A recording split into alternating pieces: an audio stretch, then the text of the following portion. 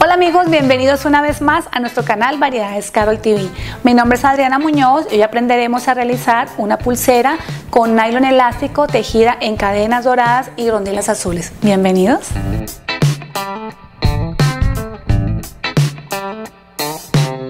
Los materiales que vamos a necesitar para este kit son los siguientes. Cadena de aluminio, 1 metro con 50 centímetros. Rondela faceteada de 8 milímetros color zafir AB, 84 unidades. Y nylon por metro, 2 metros.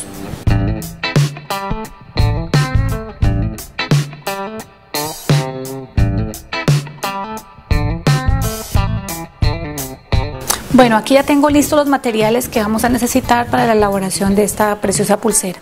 Lo primero que vamos a hacer es tomar la cadena. Entonces vamos a cortar tramos de 6 eslabones. Prefiero dejar 7, al final los quito para tener de dónde templar la cadena en el momento de elaborar la pulsera, porque como ustedes ven ella va en medio de las rondelas. Entonces vamos a hacer de 7, 1, 2, 3, 4, 5, 6, 7, son 28. Y podemos cortar o podemos abrir el eslabón, como ustedes lo quieran hacer. Pues para mí es más rápido. 3, 6, 7 eslabones. Para mí es más rápido cortar, pero pues se puede economizar mucho más si ustedes simplemente abren el eslabón. 1, 2, 3, 4, 5, 6, 7. Vamos a cortar 28 tramos. Cuando ya he cortado los tramitos de 7 eslabones cada uno, lo que voy a hacer es corto tiras o tramos de nylon de 30 centímetros. Y en, una, en un tramito coloco, vamos a hacer, esto es muy rápido, vamos a colocar dos y pasamos una rondela hasta completar 14 rondelas. Así, ahora coloco otros dos. Y una rondela. Hasta que tengamos 14 piedritas. Bueno, así queda la primera vuelta. Se colocan dos tramos de cadena, una rondela, dos tramos de cadena hasta completar 14 unidades. ¿Por qué les digo que cortamos tramos de 30 centímetros de nylon para poder tener margen de hacer esto así? Ustedes acomodan de esta manera, ceden un poco el nylon y hacen un nudo así. Así. Vuelven y hacen otro nudo y sellan de esta manera. Para eso necesitamos espacio para mover el nylon. Bajan el nudo con la mano y abren aquí estas dos tiras y templan. Cuando ustedes hacen este último nudo no tienen necesidad de colocar eh, pegante adoro, sino que cortan y el nudo ya se oculta y así queda la cadena. Así, bueno, entonces la primera es súper básica, la segunda es de más cuidado. Cortamos otro tramo de 30 centímetros.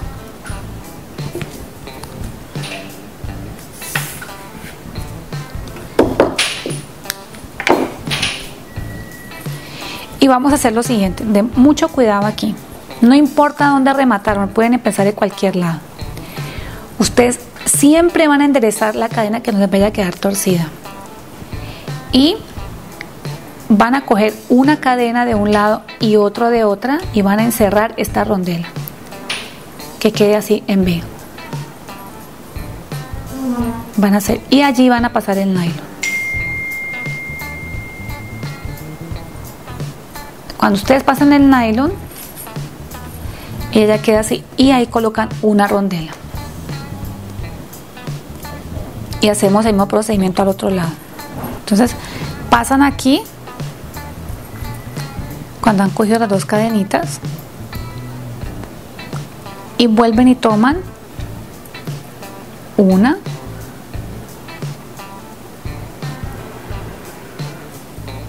y toman la otra teniendo en cuenta cuál es el orden de las cadenas para no saltar ninguna y enderezando los eslabones. Así, dos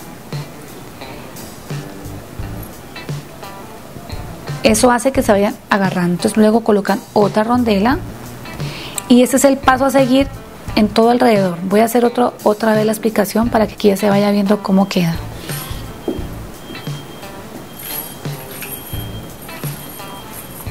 Va quedando así. Como ustedes ven está tejido acá. Bueno, entonces cuando ya han metido la rondela, vuelven, buscan y encierran otra vez una y pasan por ahí. Una y dos.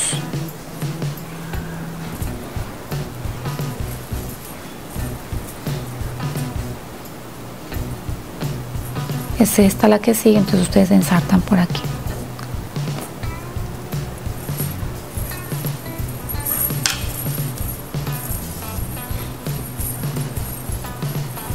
va quedando así agarrada. Volvemos a meter una rondelita. Y cogemos otras dos cadenas encerrándola de arriba.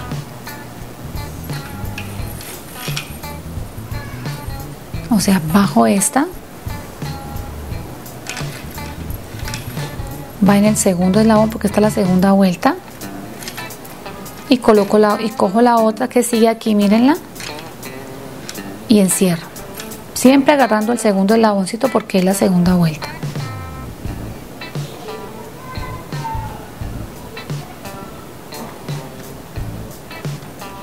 Corro. Coloco una rondelita.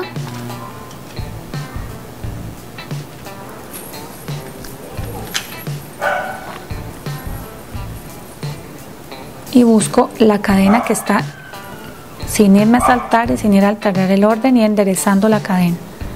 Uno. La corro y aquí viene la otra. Enderezo la cadena. Paso el nylon.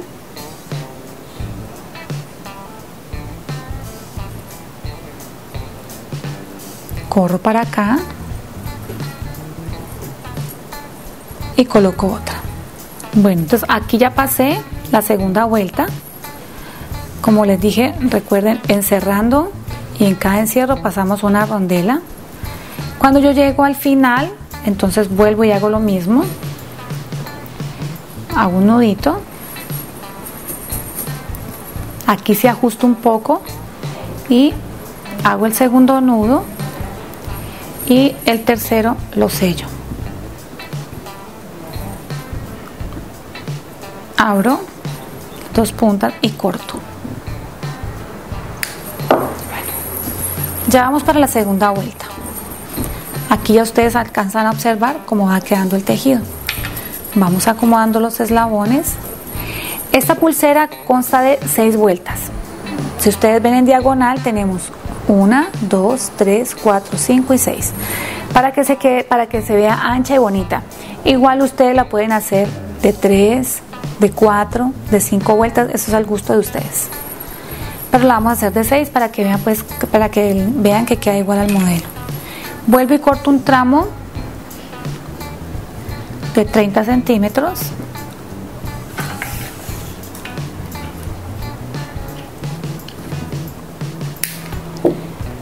Y hago el mismo procedimiento. Pero la clave está porque repito la vuelta la clave está al inicio del, del ensamble de las piedras tomo dos cadenas de tal modo que la de arriba quede encerrada, así, y por ahí paso. Inmediatamente cojo estos dos eslabones, coloco una rondela y luego dos, coloco una rondela y luego dos tramitos de cadena, una rondela, dos tramos de cadena, una rondela y el tejido inmediatamente se hará. Entonces aquí por ejemplo ya tomé los dos tramos de cadena, la rondela y empiezo con esta mano que está acá, sostengo el nylon con esta así y aquí empiezo a pasar empiezo a, enderezar. Entonces tengo. Aquí va la rondelita y cojo dos tramos de cadena. Uno.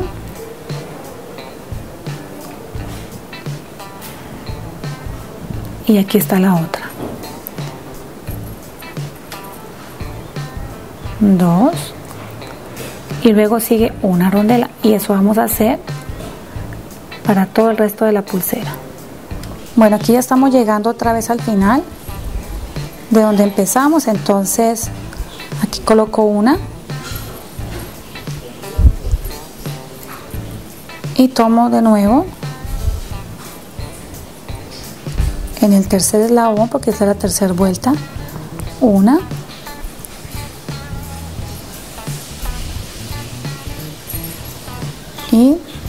dos cadenitas. Y coloco por el para finalizar la rondelita.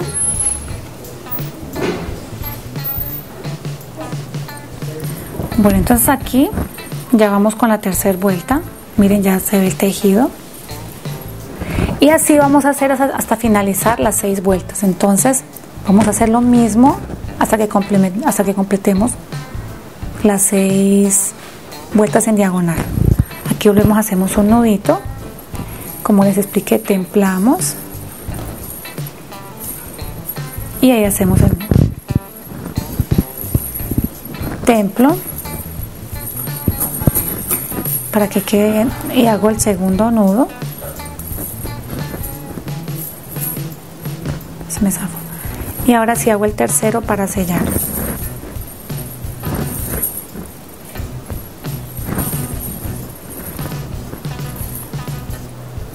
lo bajo y luego abro estas dos tiritas.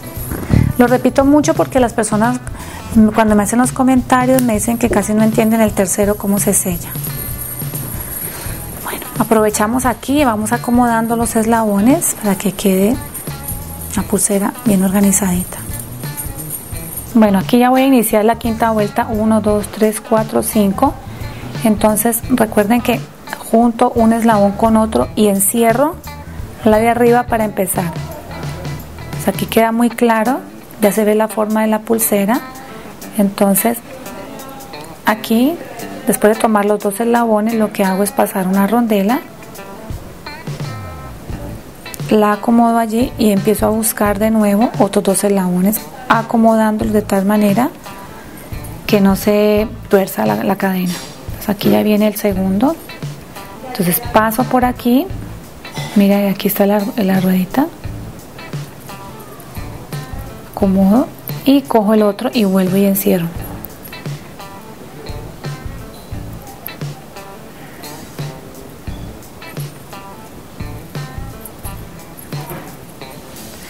después de que cojo dos vuelvo coloco una rondelita la acomodo allí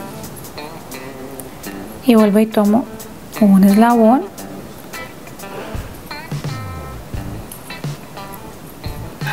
y el otro encerrando la rondela de arriba. Bueno esta ya es la sexta vuelta entonces lo mismo templamos. Hacemos el nudito.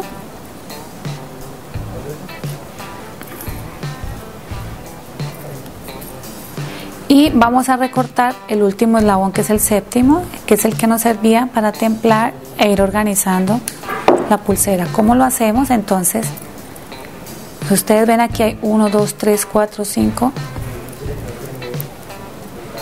6 y 1, 7 entonces este nos sobró lo quitamos y la pulsera ya nos va quedando bien acomodada aquí está el otro ustedes mismos van viendo eso es para comodidad, pero si ustedes quieren pueden cortar directamente los seis eslabones. Miren, yo templo, organizo y recorto. Entonces la pulsera ya va quedando encocadita. Me sirve para hacer esto que estoy haciendo. Bueno, aquí ya queda la pulsera terminada. Miren que es hermosa.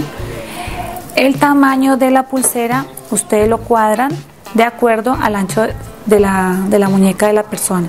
En mi caso, por ejemplo, hice dos tamaños. Aquí le coloqué 14 rondelas y esta tiene 16 para una muñeca más ancha. Entonces, la manera de colocarlas, enrollando. Y lo mismo a la hora de sacarlas, porque como son en nylon las podemos reventar. Lo mismo esta. Entonces giramos y ellas no pasa nada me faltó cortar uno